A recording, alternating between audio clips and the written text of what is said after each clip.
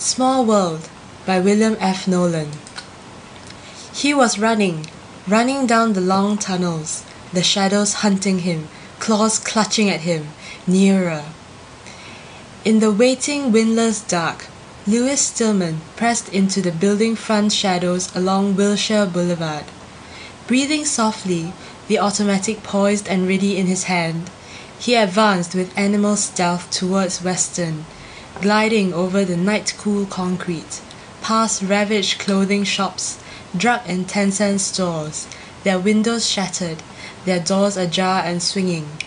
The city of Los Angeles, painted in cold moonlight, was an immense graveyard. The tall white tombstone buildings thrust up from the silent pavement, shadow carved and lonely. Overturned metal corpses of trucks and buses and automobiles littered the streets. He paused under the wide marquee of the Fox Wiltern. Above his head, rows of splintered display bulbs gaped, sharp glass teeth in wooden jaws. Lewis Stillman felt as though they might drop at any moment to pierce his body. Four more blocks to cover. His destination, a small collar delicatessen four blocks south of Wilshire on Western. Tonight, he intended bypassing the larger stores like Safeway or Thrifty Mart, with their available supplies of exotic foods. A smaller grocery was far more likely to have what he needed. He was finding it more and more difficult to locate basic foodstuffs. In the big supermarkets, only the more exotic and highly spiced canned and bottled goods remained, and he was sick of caviar and oysters. Crossing Western, he had almost reached the far curb when he saw some of them. He dropped immediately to his knees, behind the rusting bulk of an Olds 88. The rear door on his side was open, and he cautiously eased himself into the back seat of the deserted car. Releasing the safety catch on the automatic, he peered through the cracked window at six or seven of them as they moved toward him along the street. God, had he been seen? He couldn't be sure. Perhaps they were aware of his position. He should have remained on the open street, where he'd have a running chance. Perhaps, if his aim was true, he could kill most of them. But, even with its silencer, the gun would be heard, and more of them would come. He dared not fire until he was certain they discovered him. They came closer, their small dark bodies crowding the walk, six of them, chattering, leaping, cruel mouths open, eyes glittering under the moon. Closer. The shrill pipings increased, rose in volume. Closer. Now he could make out their sharp teeth and matted hair, only a few feet from the car. His hand was moist on the handle of the automatic. His heart thundered in his chest. Seconds away. Now! Lewis Stillman fell heavily back against the dusty seat cushion, the gun loose in his trembling hand. They passed by. They had missed him. Their thin pipings diminished, grew faint with distance. The tomb silence of late night settled around him. The delicatessen proved a real windfall. The shelves were relatively untouched, and he had a wide choice of tinned goods. He found an empty cardboard box, and hastily began to transfer the cans from the shelf nearest him. A noise from behind, a padding, scraping sound. Lewis Stillman whirled around, the automatic ready. A huge mongrel dog faced him, growling deep in its throat, forelegs braced for an assault. The blunt ears were laid flat along the short-haired skull, and a thin trickle of saliva seeped from the killing jaws. The beast's powerful chest muscles were bunched for the spring when Stillman acted. The gun, he knew, was useless. The shots would be heard. Therefore, with the full strength of his left arm, he hurled the heavy can at the dog's head. The stunned animal staggered under the blow, legs buckling. Hurriedly, Stillman gathered his supplies and made his way back to the street. How much longer can my luck hold? Lewis Stillman wondered as he bolted the door. He placed the box of tinned goods on a wooden table and lit the tall lamp nearby. Its flickering orange glow illumined the narrow, low-ceilinged room as Stillman seated himself on one of three chairs facing the table. Twice tonight, his mind told him. Twice you've escaped them, and they could have seen you easily on both occasions if they had been watching for you. They don't know you're alive, but when they find out. He forced his thoughts away from the scene in his mind, away from the horror. Quickly, he stood up and began to unload the box, placing the cans on a long shelf along the far side of the room. He began to think of women, of a girl named Joan, and of how much he had loved her. The world of Lewis Stillman was damp and lightless. It was narrow, and its cold stone walls pressed in upon him as he moved. He had been walking for several hours. Sometimes he would run, because he knew his leg muscles must be kept strong. But he was walking now, following the thin yellow beam of his hooded lantern. He was searching. Tonight, he thought, I might find another like myself. Surely someone is down here. I'll find someone if I keep searching. I must find someone. But he knew he would not. He knew he would find only chill emptiness ahead of him in the tunnels. For three long years, he had been searching for another man or woman down here in this world under the city. For three years, he had prowled the 700 miles of storm drains which threaded their way under the skin of Los Angeles like the veins in a giant's body and he had found nothing. Nothing. Even now, after all the days and nights of search, he could not really accept the fact that he was alone, that he was the last man alive in a city of seven million, that all the others were dead. He paused, resting his back against the cold stone. Some of them were moving over the street above his head. He listened to the sharp, scuffling sounds on the pavement and swore bitterly. Damn you! Said Lewis Stillman levelly. Damn all of you. Lewis Stillman was running down the long tunnels. Behind him, a tide of midget shadows washed from wall to wall. High keening cries, doubled and tripled by echoes, rang in his ears. Claws reached for him. He felt panting breath, like hot smoke, on the back of his neck. His lungs were bursting, his entire body aflame. He looked down at his fast pumping legs, doing their job with pistoned precision. He listened to the sharp slap of his heels against the floor of the tunnel, and he thought, I might die at any moment, but my legs will escape. They will run on down the endless drains and never be caught. They move so fast, while my heavy, awkward upper body rocks and sways above them, slowing them down, tiring them, making them angry. How my legs must hate me! I must be clever and humour them, beg them to take me along to safety. How well they run, how sleek and fine. Then he felt himself coming apart. His legs were detaching themselves from his upper body. He cried out in horror, flailing the air with his arms, beseeching them not to leave him behind. But the legs cruelly continued to unfasten themselves. In a cold surge of terror, Lewis Stillman felt himself tipping, falling toward the damp floor, while his legs raced on with a wild animal life of their own. He opened his mouth high above the insane legs and screamed, ending the nightmare. He sat up stiffly in his cot, grasping, drenched in sweat. He drew in a long, shuddering breath and reached for a cigarette. He lit it with a trembling hand. The nightmares were getting worse. He realized that his mind was rebelling as he slept, spilling forth the bottled up fears of the day during the night hours. He thought once more about the beginning, six years ago, about why he was still alive, the last of his kind. The alien ships had struck Earth suddenly, without warning. Their attack had been thorough and deadly. In a matter of hours, the aliens had accomplished their clever mission, and the men and women of Earth were destroyed. A few survived, he was certain.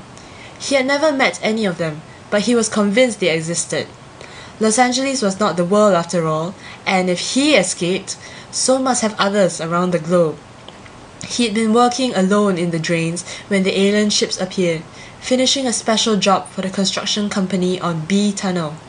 He could still hear the weird sound of the mammoth ships and feel the intense heat of their passage. Hunger had forced him out, and overnight he became a curiosity.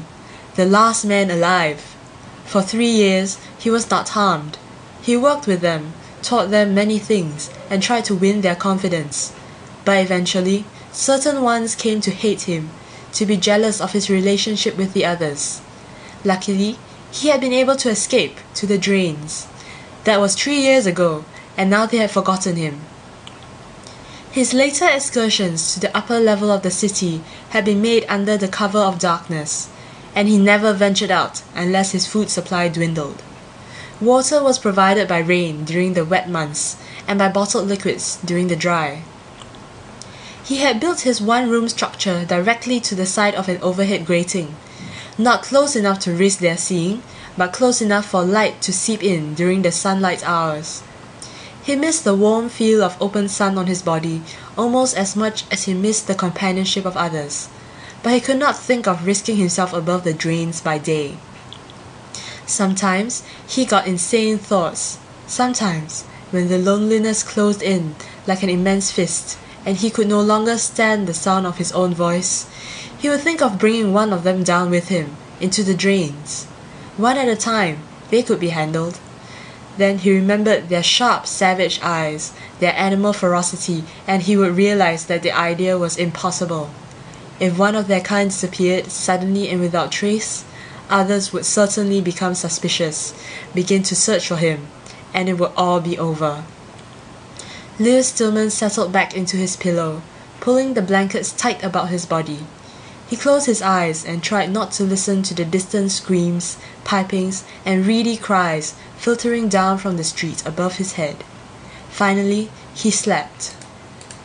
He spent the afternoon with paper women. He lingered over the pages of some yellowed fashion magazines, looking at all the beautifully photographed models in their fine clothes, all slim and enchanting, these page women, with their cool, enticing eyes and perfect smiles, all grace and softness and glitter and swirled cloth. He touched their images with gentle fingers, stroking the tawny paper hair as though, by some magic formula, he might imbue them with life. It was easy to imagine that these women had never really lived at all, that they were simply painted, in microscopic detail, by sly artists to give the illusion of photos. He didn't like to think about these women and how they di- died.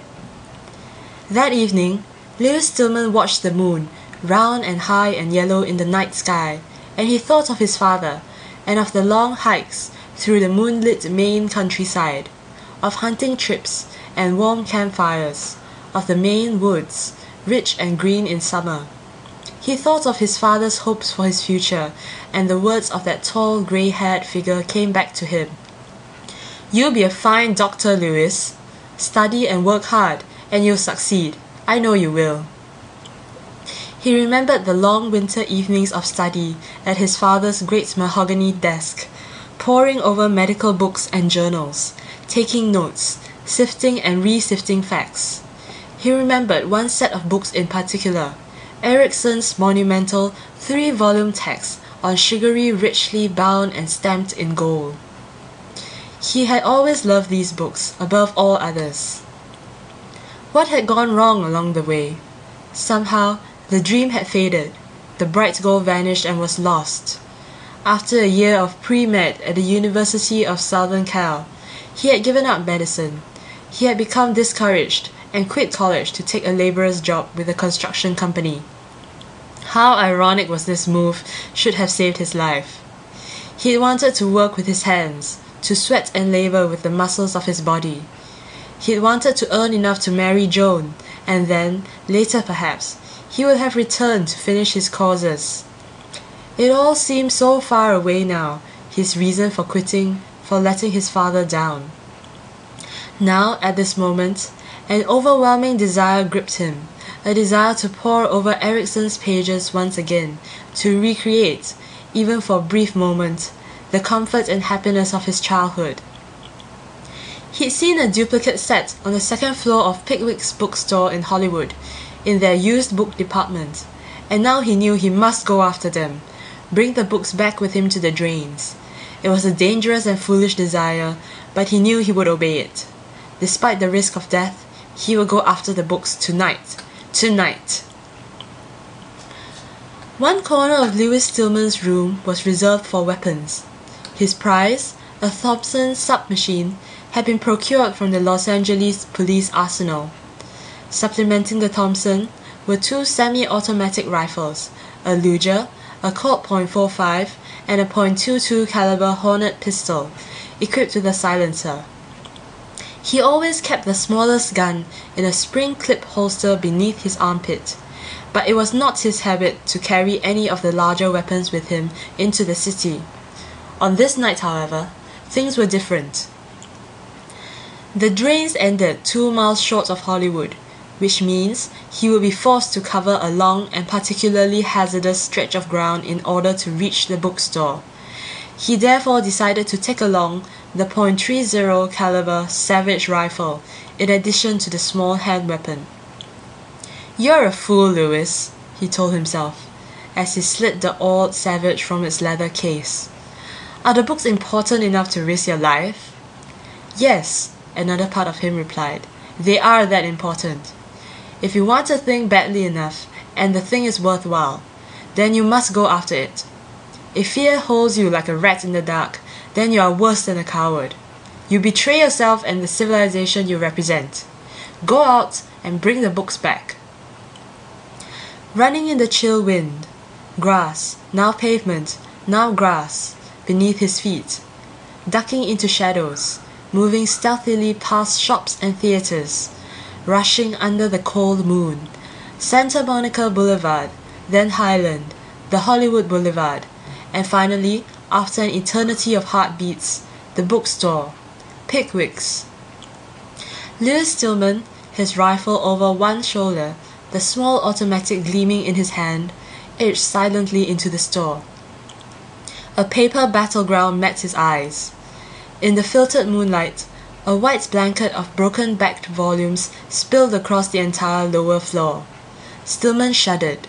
He could envision them, shrieking, scrabbling at the shelves, throwing books wildly across the room at one another, screaming, ripping, destroying. What of the other floors? What of the medical section?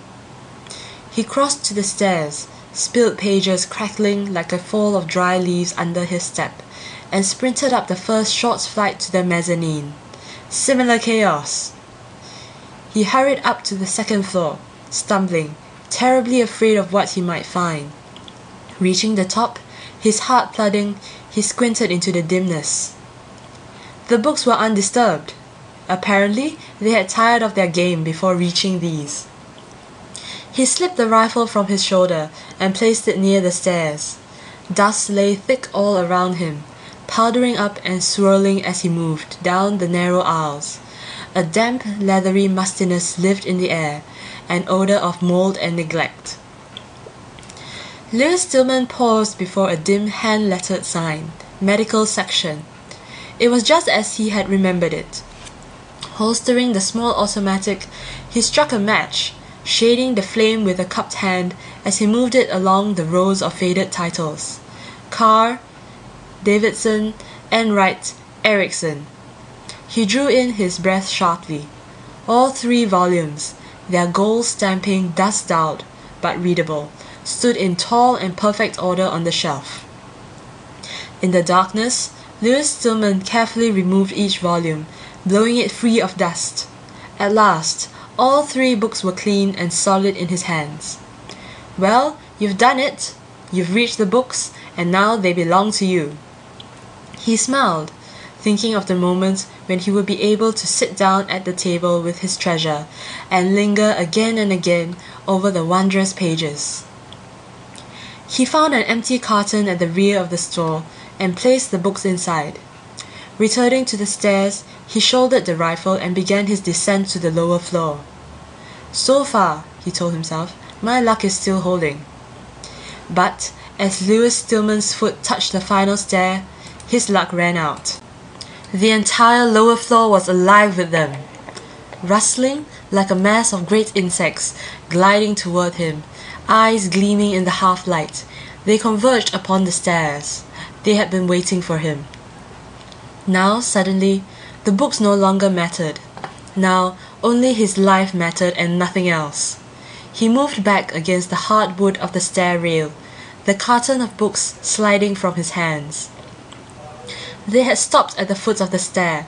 They were silent, looking up at him, the hate in their eyes. If you can reach the street, Stillman told himself, then you've still got half a chance. That means you've got to get through them to the door. Alright then, move! Lewis Stillman squeezed the trigger of the automatic, and three shots echoed through the silent store. Two of them fell under the bullets as Stillman rushed into their midst. He felt sharp nails claw at his shirt and trousers, heard the cloth ripping away in their grasp. He kept firing the small automatic into them, and three more dropped under the hail of bullets, shrieking in pain and surprise. The others spilled back, screaming, from the door. The gun was empty. He tossed it away, swinging the heavy Savage rifle free from his shoulder as he reached the street. The night air crisp and cool in his lungs, gave him instant hope. I can still make it, thought Stillman, as he leaped the curb and plunged across the pavement. If those shots weren't heard, then I've still got the edge. My legs are strong, I can outdistance them. Luck, however, had failed him completely on this night. Near the intersection of Hollywood Boulevard and Highland, a fresh pack of them swarmed towards him over the street. He dropped to one knee and fired into their ranks, the savage jerking in his hands. They scattered to either side. He began to run steadily down the middle of Hollywood Boulevard, using the butt of the heavy rifle like a battering ram as they came at him. As he neared Highland, three of them darted directly into his path. Stillman fired. One doubled over, lurching crazily into a jagged plate glass store front. Another clawed at him, as he swept around the corner to Highland, he managed to shake free. The street ahead of him was clear. Now, his superior leg power would count heavily in his favor. Two miles. Could he make it before others cut him off? Running, reloading, firing. Sweat soaking his shirt, rivering down his face, stinging his eyes. A mile covered, halfway to the drains. They had fallen back. But more of them were coming, drawn by the rifle shots, pouring in from side streets, stores, and houses. His heart jarred in his body, his breath was ragged. How many of them around him? A hundred? Two hundred? More coming! God! He bit down on his lower lip until the salt taste of blood was on his tongue. You can't make it, a voice inside him shouted. They'll have you in another block, and you know it. He fitted the rifle to his shoulder, adjusted his aim, and fired. The long rolling crack of the big weapon filled the night. Again and again he fired, the butt jerking into the flesh of his shoulder, the smell of powder in his nostrils. It was no use. Too many of them. Lewis Stillman knew that he was going to die. The rifle was empty at last. The final bullet had been fired. He had no place to run, because they were all around him, in a slowly closing circle. He looked at the ring of small cruel faces and he thought, the aliens did their job perfectly. They stopped Earth before she could reach the age of the rocket, before she could threaten planets beyond her own moon. What an immensely clever plan it had been.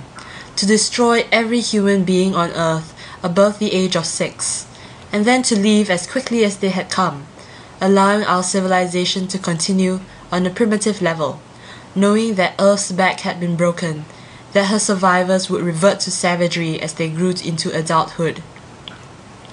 Lewis Stillman dropped the empty rifle at his feet and threw out his hands.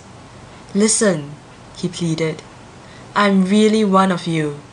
You'll all be like me soon. Please, listen to me. But the circle tightened relentlessly around Lewis Stillman. He was screaming when the children closed in. End of Small World